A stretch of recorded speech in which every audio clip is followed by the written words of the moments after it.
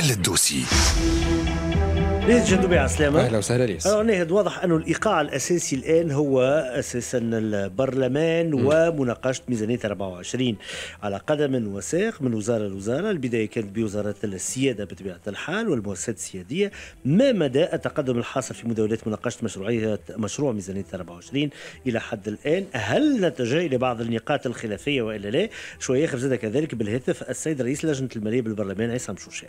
هي انطلقت من نهار الجمعة اللي فاتت الجلسات العامة بمجلس نواب الشعب المخصصة للنظر في ميزانية الدولة مشروع الميزان الاقتصادي ومشروع قانون مالية 24 واللي باش تواصل إلى حين التصويت على مشروع قانون المالية لسنة 2024 برمته هذا قبل آخر آه، ديسمبر أول ديسمبر قبل 10 ديسمبر 2023 آه، بالضبط. تم الاستماع منذ نهار الجمعة بداية آه، برئيس الحكومة. كان اللقاء في البرلمان مع رئيس الحكومة ثم مع بقية وزراء حكومته ومناقشة ميزانيات وزاراتهم إضافة إلى آه، رئاسة الجمهورية واللي كانت ممثلة بوفد من قرطاج في البرلمان. في كل الحالات خلف هذا ردود فعل زاد واسعة تقريبا في علاقة بحضور السيد رئيس الحكومة اللي ما كانش موجود في الحصة المسائية. ما جاوبش على أسئلة من عند النواب. من بعد الوزراء جاوا تباعا ميزانية الوزارات اللي إلى حد الآن حتى المؤسسات السيادية. إحنا الآن أمام ارتفاع في عدد من الميزانيات. بدأت توضح لنا الرؤية شوية في علاقة بميزانية الوزارات سورتو كي نقارنوها ب 2023 نلقاو وزارة الصناعة والمناجم والطاقة مثلا اللي طورت ميزانيتها 2024 آه، بنسبة 24% مقارنة بميزانية 23 ميزانية وزارة الأسرة والمرأة والطفولة وكبار السن سجلت زيادة ب 4% وزارة التعليم العالي والبحث العلمي تطور ب 5.77% في الميزانية المقترحة لسنة 24 مقارنة ب 23 وارتفاع ب 3.9 في ميزانية وزارة النقل وكيف آه، كيف نلقاو آه، حجم مشروع ميزانية وزارة الداخلية لسنة 24 شهد تطور بنسبة 2% وتوا جاري الاستماع إلى آه، وزير الشؤون الخارجية بالبرلمان ومناقشة ميزانية وزارة الخارجية. كنا نسمع فيه في الأخبار ميزانية الوزارات المحدودة. أي فما تشكيات من بعض الوزراء في علاقة بميزانية وزاراتهم. السياحة كيف كيف تراجع في ميزانيتها. نلقاوها في حدود 180 مليون دينار اللي يعتبرها وزير السياحة. ضعيفة. آه، وقت وقت الاستماع عليه في اللجنة. كيف كيف نواب لجنة الصحة تشكيوا من ضعف الميزانية المرصودة لوزارة الشؤون الاجتماعية مقارنة بأهمية الخدمات اللي تقدمها للمواطن. وزير الشؤون الخارجية نبيل عمار قال آه، وقت آه، حضوره في اجتماع اللجنة قالوا انه ميزانية الوزارة ل 2024 قدرت ب 344 مليون دينار بزيادة في حدود 13 مليون دينار وهي لا تمثل حسب قوله سوى 0.59% من مشروع ميزانية الدولة للعام الجاي وضعف الموارد يحد من تطلعات الدبلوماسية التونسية في ميزانية وزارة الصحة مثلا نلقاوها تمثل 5.5% فقط من ميزانية الدولة. أبرز النقاط اللي قاعد يتم الحديث عليهم اليوم. صحيح وكان نحكيو على آه، المشروع ككل. نلقاو ثمانية نقاط آه، أساسا اللي آه، قاعد يتم الحديث عليها اليوم. مسألة الضرائب المشروع يضمن زيادة في الضرائب على بعض القطاعات كما البنوك المؤسسات المالية وشركات التأمين. الهدف هو دعم ميزانية الدولة وزيادة الإيرادات الضريبيه مسألة الدعم بالعنوان الكبير موجودة في 2024 توجيه الدعم لمستحقيه والقطاعات الاستهلاكية خاصة نحكيو على المواد الأساسية المدعمه كما السكر الفارغ الفارينة سميد العجين الغذائي الشعير والطاقة وغيرهم. دعم الاستثمار هذه النقطة مفصلية كيف كيف. آه، ما قدمتش الحكومة إجراءات جبائية جديدة ليس لجذب المستثمر آه، الأجنبي وحتى التونسي هو ضمان استقرار الوضع الاقتصادي. هذا كلام يقولوه عديد الخبراء. مسألة الإعفاءات الجبائية المشروع يقترح إعفاء المؤسسات الجديدة من الضرائب على الدخل لمدة أربع سنوات. مشروع قديم جديد فيه برشا ما آه، يتقال. كيف كيف؟ جبايه جديدة على المؤسسات السياحية في علاقة بمشروع قانون المالية 2024 في نسب معلوم الإقامة السياحية وإتاوة الدعم وتم توسيع ميدان تطبيقهم في إطار إرساء اليات بديلة لتمويل نفقات الدعم. وهني كيف كيف؟ تشكيات كبيرة من أهل القطاع في السياحة. الضريبة على الشراء العقاري المشروع ما كملش في تطبيق ضريبة 13% على شراء المساكن الجديدة. اعتبارا من 1 جانفي 2024 نحكي على 19% التصدير والاستثمار كما قلنا ما فماش إجراءات تتعلق بالتصدير والاستثمار الخارجي وأخيرا النظام الجبائي التفاضلي للتصدير اللي يعتبر إلغاء هذا النظام أحد أسباب اللي ادت إلى تدهور الاقتصاد الوطني في السنوات السابقة. وهذا آه الآن ناهد الحقيقة يحيل زاد كذلك في علاقة مثلا باشتراء والا اقتناء مسكن اللي حاجة ولا تقريبا في تونس الآن صعبة جدا وجدا جدا جدا على عديد على المواطنين التوانسة. بالهاتف رئيس لجنة المالية بالبرلمان عصام شوشان. مرحبا شكرا. شكرا. مرحبا بكم وكافة المستمعين. شكرا لك على قبول الدعوة الهاتفية. حظ سعيد على هذا العمل الجبار الآن داخل البرلمان. نعرف اللي الجلسات ماراثونية لكن سي عصام ننطلقوا في سؤال مبدئي الأولاني. هذا امتحان كبير بالنسبة للبرلمان التونسي الآن أول موازنة بالنسبة لي موازنة 24 الآن اللي يتقال البرة من البرلمان هو أني موازنة محاسباتية وما فيها تقريبا حتى أدنى لون ل هات نقول آه لمشروع اقتصادي متكامل. شنو رأيكم أنتم داخل اللجنة وشنو رأيكم تحت قبه البرلمان بصفة عامة؟ ساقبل كل شيء سي عصام. شوف أنا مش نحكيك معناها كمشروع بيروماتي ولهذا إحنا أنا شخصيا تكلمت عليه.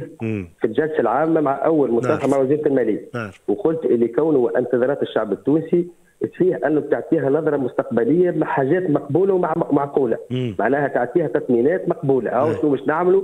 وهذه شنو الإجراءات؟ وتكلمت على ال relance économique أنا تكلمت عن الانتعاش الاقتصادي شنو هي نظرتنا إحنا كتوانسة وكبرلمان وكسلطة تنفيذية كيفاش باش نشوف الانتعاش الاقتصادي هذا من حيث بصفة عامة على الوضع اللي إحنا نعيشوا فيه. أي. اللي قدامنا إحنا قانون المالية لسنه 2024 واللي تتعرض فيه العديد من الفرضيات واللي هي مثلا متعلقة بسعر برميل النفط متعلقة بموسم الجفاف اللي تمر به بلادنا. وهذا كل عندها تداعيات سلبية صحيح على الموازنات المالية موجودة هذا في 2024 لكن أنا نوصل ال message. هذيك إمكانيات الدولة التونسية بما يتعلق بمشروع القانون.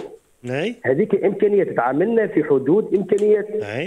لكن هذا اللي يتلام لكن هذا اللي يتلام سي عصام مش يقول لك هو؟ إيه. يقول لك حتى كان أنت هذيك إمكانياتك يا أخوي أعطيني شوية مخيال أنا أعطيني حاجات جديدة أعطيني شوية وفاح أعطيني فكرة التغيير 25 جويليا مبني على التغيير على تصورات جديدة في علاقة بالتشريع على تصورات جديدة في علاقة بالدور الاجتماعي الدور الاجتماعي للدولة. شنو اللي تبدل ما تبدل شيء فما ما فما حد فهمت شنو هو سي عصام؟ الفكرة هو أنه ما عندناش ما عندناش وفاح ما عندناش حاجة اللي نشدوها ونقولوا تيان فما تغيير ولا بصيص تغيير. شوف هو بالنسبة للمشروع القانون فيه العديد من الإجراءات الحقيقة أنه باش مثلا؟ تشجع مثلا تمويل المؤسسات الصغرى والمتوسطة تشجيع الاستثمار. هذه من الحاجيات. مثلا إعفاءات في بعض المواد الأولية مع مواد المستوردة. هذه من ضمن الإجراءات. فيها تشجيع على البعث والانتساب للقطاع الخاص. فيها تشجيع على المؤسسات الناشئة. فيها تحت أمور إجراءات تحفيزية انه نشجعوا على الاستثمار. صحيح فيها إجراءات. هذا ما نجموش نخبيهم ومش يخرج القانون للعلن. لكن أنا نرجع. تفضل. ديما نقول أنا كان عقلاني منطقي في التحليل. تفضل. علاش؟ خاطر قلت لك أنا مانيش معناها صحيح انه الشعب التونسي مش مش تكون نسبة الرضا 100% أو 50% أنا بنيت على المعطيات اللي بين يدينا إحنا كلجنه المالية. علاش قلت لك أنا هاتي امكانيات صحيح راهو أي إجراء واي إصلاح لازم وقت ولازم تكلفه هذا من حيث حتى الاقتصادية. أي إجراء؟ طبعا يلزمك تصور لازم تصور وراهو فيه تكلفة وفيه إجراءات ومش حينية مش إجراءات حينية معناها. اليوم أنا كنت ترجع لجنة المالية وأعمال لجنة المالية من أول جلسة انعقدت شنو طلبنا إحنا؟ طلبنا على مراجعة مجلة الصرف. وأنا نعرف en tant que économiste نعرف ال impact ال positif نتاعها على الاستثمار في تونس. ما أحوجنا إحنا الاستثمار في تونس.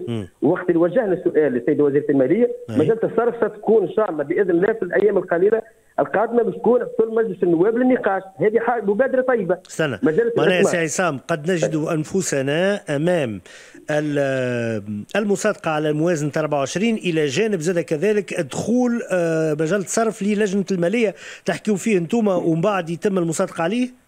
أكيد. مش تعرض على اللجنة المالية للنقاش. امم وقتاش؟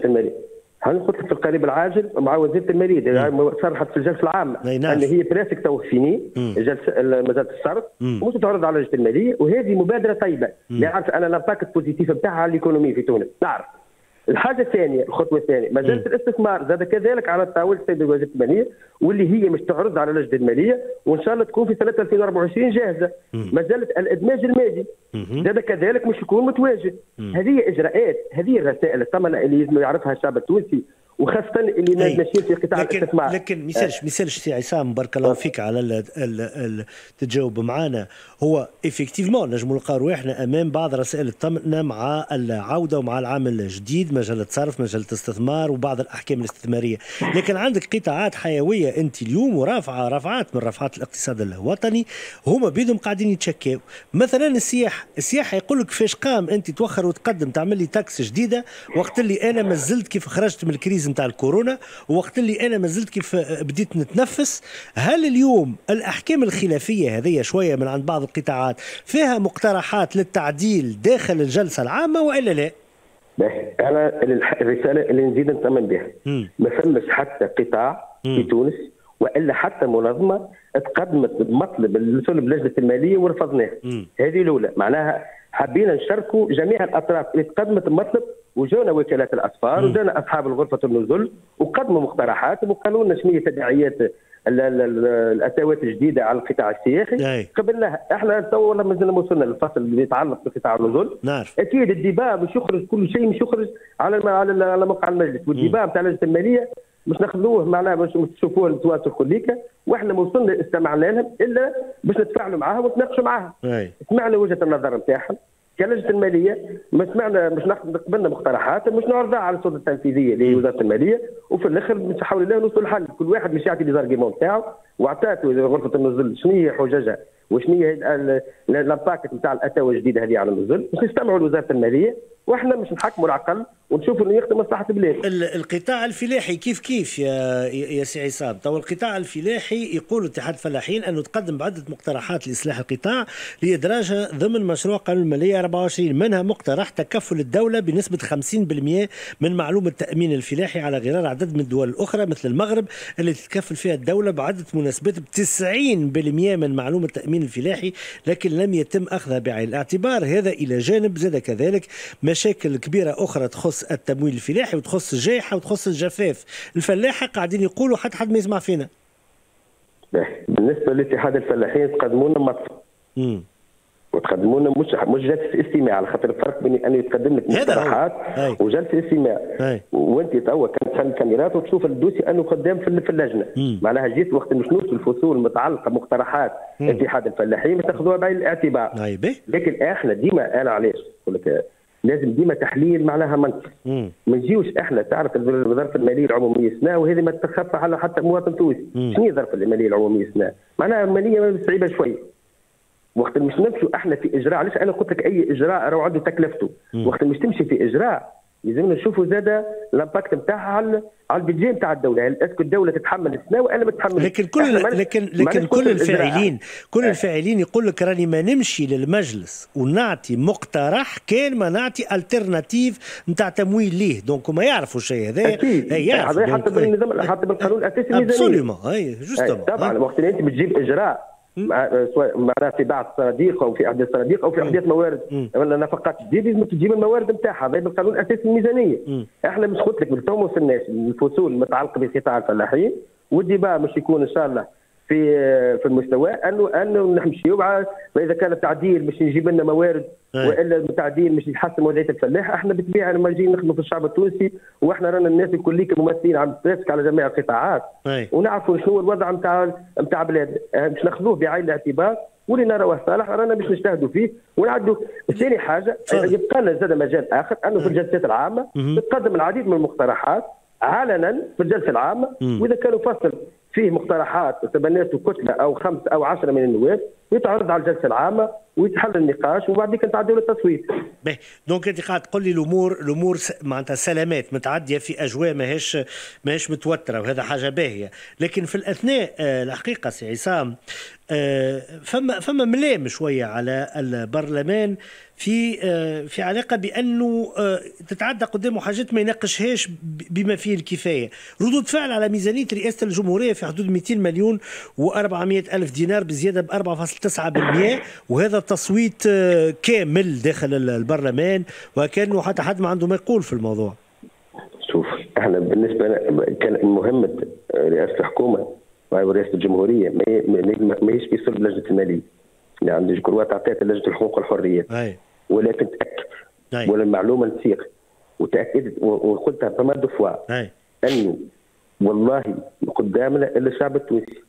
والله اجتهادنا فيما يتعلق بالمهمات أو بقانون المالية حسب اجتهادنا في اللجنة.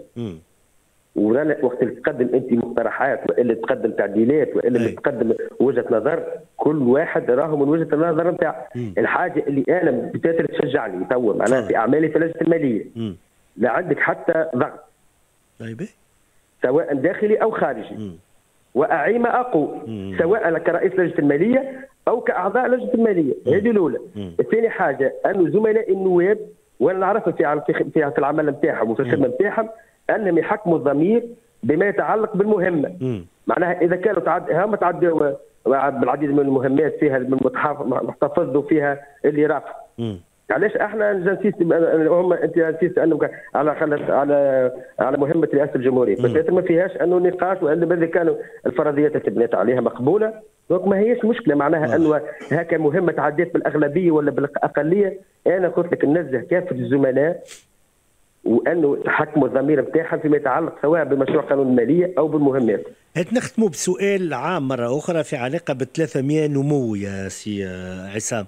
هو الآن رئيس الحكومة جاء أعطى تقريبا آه، نص الرسمي إلى جانب مداخلات جانبية آه، آه، تكلم فيها على 3% لكن الأرقام الأخرى فرضيات مشيبيدة داخل الميزانية وفي نفس الوقت الفرضيات قداش من مره تتعمل ومن بعد نعملوا التكميلي ونلقاو رواحنا بعاد ياسر على الرشمه وبعاد ياسر على الخزمه اليوم الرقم هذا شنو رأيك فيه أنت 3% نمو 23 في 24 إحنا توا إحنا توا في des alternatives. أنا في دوسة إذا كان قانون الميزانية سنه 2024 تبنى على فرضيات وأنت كترجع المداولات من لجنة المالية تو تبني تو تعرف اللي كونك كيفاش إحنا ناقشناها الفرضيات. أعطيني أنت رأيك. سي عصام 3% شنو رأيك؟ أنا قبل ما نمشي ل 3% على 2.1% اللي هي في في 2024 في قانون الماليه اللي موجود بين يدينا وشنو هي الفرضيات اي كلام رئيس الحكومة محمول على الجد زاد كذلك 3% ما جاتش ما, ما جات زاد كذلك من عند رئيس الحكومة. donc نتداول في 3% زاد. أنا نتداول مبدئيا الساعة الأول كرئيس لجنه الماليه نتداول في 2.1 في المشروع. صحيح. في المشروع اللي قدامي في المشروع. صحيح. والكلام اللي نقوله أنا يلزمني بما يتعلق بالمشروع. عندنا 2.1% واللي هي تبنات على فرضيات OK. مثلا سعر برميل النفط في حدود 81 دولار. أي. وأنا توجهت سؤال سؤال للسيد وزير الماليه قلت له راهو العديد من المتغيرات اللي تنجم تصير في 2024 تنجم الحرب الأوكرانية الروسيه تتواصل. خاصة الاتفاقية نتاع روسيا وبين روسيا والسعودية في تخفيض نسبة نسبة إنتاج آه النفط راهي متراجعة. هذه ينجم يكون عندها امباكت في, على على سعر البرميل. هذه النقاش. لكن هي شنو إحنا دائما نتعاملوا بال بالوثائق والحجج. هي شنو قالت إحنا في المرجع نتاعنا هو صندوق و3% سي عصام.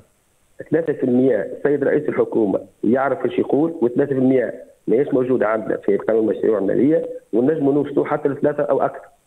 لكن آه. donc أنت موافق. علاش؟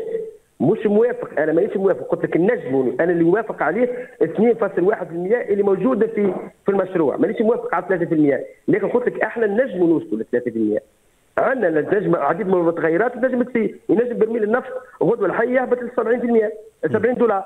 يعني ما نجموش نوصلوا إحنا ينجم الدعم الدعم مثلا ينقص في أسعار القمح اللي هي مستورده ينجم سعر القمح يتيح ينجم يكون عندنا إنتاج وربي يرحمنا بالمطر إنتاج في المواد في المواد الاستهلاكية في القمح والشعير والسويت ينجم يكون عندنا إنتاج أثناء بكيفية كبيرة ينجم يحاول يعاوننا في الكرة. الان سي عصام هذا تنتبعوه بطبيعة الحال فما حاجات معطيات نعرفوها معطيات ما نعرفوهاش لكن حكمك على الموضوع يهمني.